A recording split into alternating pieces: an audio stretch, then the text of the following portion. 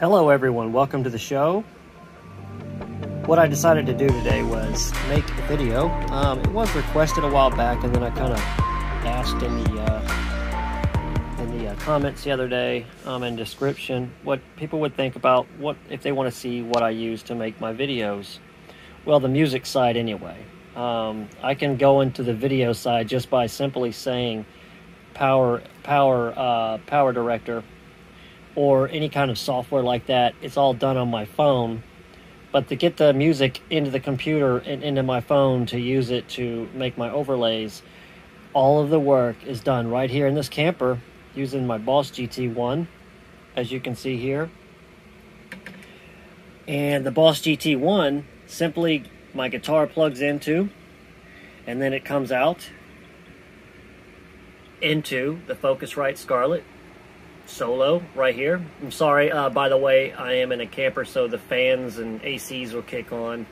Um, keeps the and I kind of cool and dry. I have it on uh, dehumidify right now. Um, and then, of course, from the Focusrite Scarlett Solo, got a crackhead on a motorcycle out there. We got plenty of those. Um, anyway, into the computer and then I look at the DAW right here on this uh, computer monitor. I engage one track, usually by looping on the Boss GT1. I'll find a loop and make it and just listen to it. The sound is all coming out of these Truth 2030A monitors. So most of my listening comes through here, and there's no drums or anything like that uh, lately. So um, mixing isn't all that easy because it's all mid-range, right, coming from a guitar.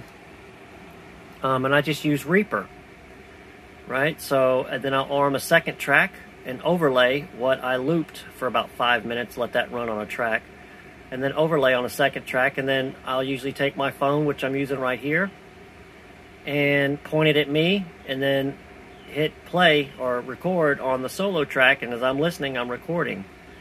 Then what I do is I take the song after I'm finished with it, if I think it's kind of okay, um, and then I save it to an MP3. Then I take it from the phone, from the computer, to one of these cords and uh, USB-C there, and put it into the phone and uh, push it to my files then I go into Power Director, and from there, that's it. I uh, hit audio backing on that, you know, and just line it up uh, to the solo video. And then I'll use little overlays, what I feel might kind of reflect the, the emotions or whatever. And that's it, man. I told you it was simple. but that's all of my tools. Once again, the Boss GT1 into the Scarlett Solo input, just one input. And then from the Scarlett Solo, of course, it feeds into the computer down here. And then it displays up here on the monitor. The sound coming out is also from these monitors here. And that's it. That's all my tools. So that's the Boss GT1 computer uh, and Scarlett Solo. So what does that say? That says a lot of my credit I give to this. Uh, and uh, to be honest with you, the Scarlett Solo guy is around a hundred bucks. Do yourself a favor if you don't get a Scarlett Solo. Um, if you like the preamp sounds that I'm using, a lot of that I give credit when you plug this thing in, even um, you know without the GT1, the Scarlett Solo sounds great. It's got a great preamp in it. I knew nothing about uh, interfaces, and I feared them. I don't know why. Uh, it had to do with I didn't want to learn all this software. I just wanted to plug in and play. But I'm very fortunate that I listened to CCJ Music, uh, Ben Powers at the time, and Axis 2084. I listened to them. They kept saying, "Dude, you've got to get an interface, man." You know, because I was using room sound coming from the speaker or headphone out into these little PC speakers plugged directly into it. Now that's great for practice. All those old videos, that's what I was using. Before that, I had an amp and uh, was just using the built-in effects in the amp, and it just didn't sound that good to me. So that's what I've done, and for two years now, I've been playing guitar and practicing. And the latest videos that you hear me playing, that's the effect of me teaching myself how to play using the tools that you see in this video. Uh, so that's it, man. Um, so what I thought I would do is maybe walk you through using these tools, and uh, that way you'll kind of see me and the guitar and my buddy over here, the producer, Roo. All right. and that's it. And uh, here's the whole area. As I pan back, if you want to see what the little area looks like, all of my work is done right here. Right where Roo's sitting. Say hey, Roo. So yeah, that's it, man. That's my little area. I usually set it down on that little carpet. That's it. I set the, the GT1 down there, and so I'll see you guys in a minute with that. And we'll see what we can come up with. All right. Peace. Okay, guys. So, uh, we're armed. Hit record. And swell in something, maybe.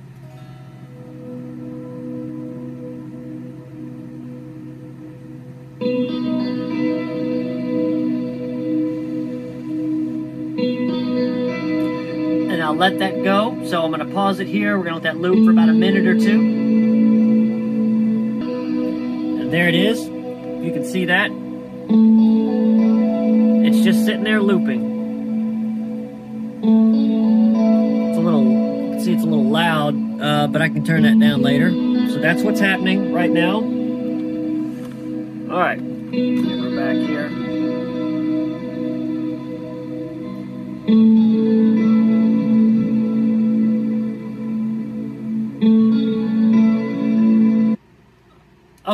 Just to keep this short, I cut it because this isn't going to be something that I'm like keeping or anything. It's just to show you guys what I'm doing. Then I would overlay that, so let's hit play. And uh, I'll just keep it on this patch for now. And now I'll overlay it. So you'll hear as I overlay it.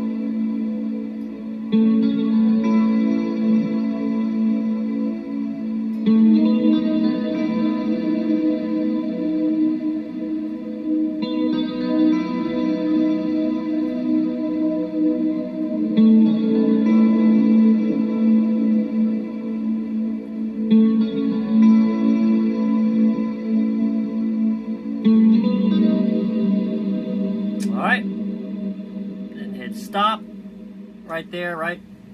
Save all, disarm those, that's those two tracks, and then here we go. Now, something like that, then I would come through and like solo it. Um, so now you'll see I've got these two tracks.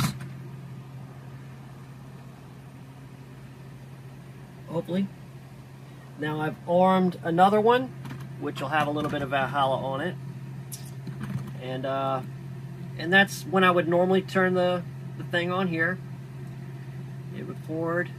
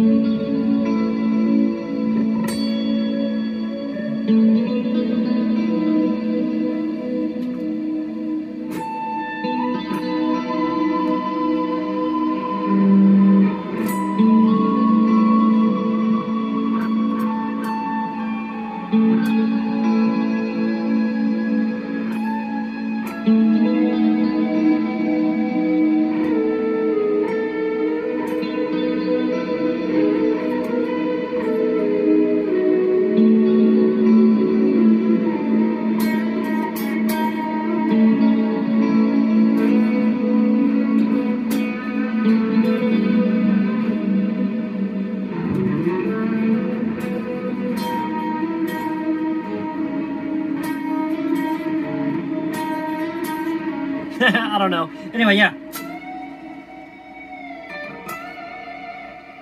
So that's it. That's how I do it. That's it in a nutshell, right? So then, um, just hit save, right? And then that's it. Now, now they're all three playing. Now I can save it like that. I can tweak it and do whatever. I mean, that's just a big mess there I made. But I'm just saying that's how I do it.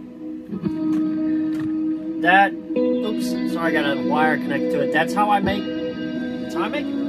It's that easy.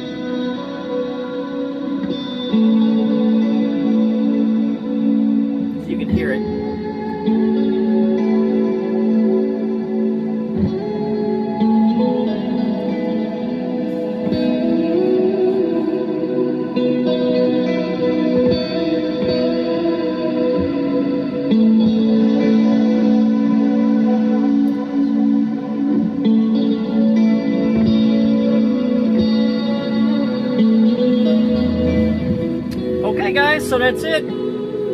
Hope you enjoyed. Thank you for hanging out with my tutorial here. I had a blast with you. I tried to make it kind of short and sweet because I've been I've been telling everybody I wanted to make one of these, you know, for a while and I hadn't gotten to it yet. So I hope this helps someone out, you know. Uh, I might try to start doing like little tutorials, you know, like things that I have learned that I think are a big help for me um, and then pass it on to the next guy. Uh, I'm still in my beginner stages, like learning all this stuff, man. It's I'm clinging to the easier stuff because I don't I don't go too far out of a zone that I'm not familiar with, uh, uh, which for me is a good thing because I like